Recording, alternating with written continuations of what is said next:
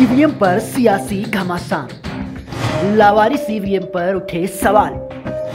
असम करीमगंज में कार से ईवीएम मिलने का मामला।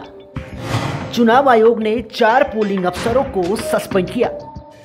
इसी ने जिला निर्वाचन अधिकारी से मांगी रिपोर्ट। क्या भाजपा की नीयत खराब? क्या लोकतंत्र की हालत खराब? चुनावी मौसम चल रहा है। ऐसे में चुनावी पारा तब और चढ़ गया। जब असम में एक सफ़ेद रंग की बोलेरो गाड़ी में ईवीएम बरामद हुई। जी हाँ आपने सही सुना। ईवीएम की बरामदगी की गई है।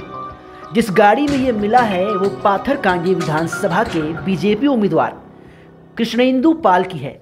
खास बात तो ये है कि कार के साथ ना तो चुनाव आयोग का कोई अधिकारी था और ना ही कार के भीतर कोई सुरक्षा थी। मामला सामने आने के बाद चुनाव आयोग ने संबंधित बूथ पर चुनाव रद्द कर दिया है। इस मामले में चुनाव आयोग ने चार मतदान अफसरों को निलंबित कर दिया। इस पर आज सुबह से ट्विटर पर वार पलटवार भी शुरू हो गया है। प्रियंका वाड्रा ने भी कहा है कि ईसी सभी दलों को बुलाए और ईवीएम के इस्तेमाल की फिर से समीक्षा हो। वहीं राहुल गांधी ने कहा है कि ईसी की गाड़ी खराब, क्या भाजपा की नीयत खराब, क्या लोकतंत्र की हालत खराब।